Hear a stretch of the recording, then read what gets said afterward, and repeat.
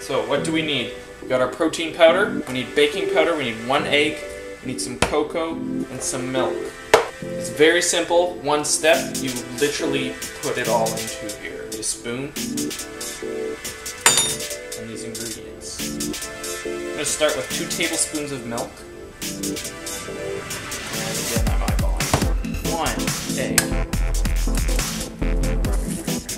Quarter tablespoon of uh, baking powder. Roughly two tablespoons of cacao. Scoop of whatever protein you choose. Just mix this. Mix it up. What we got here? Now we throw it in the microwave.